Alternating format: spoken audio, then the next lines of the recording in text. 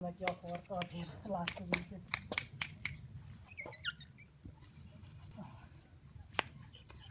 Biztos megmártotta egy kis pisi.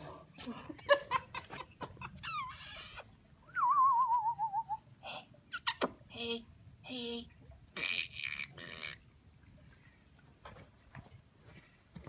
Mika, Nem menj már el.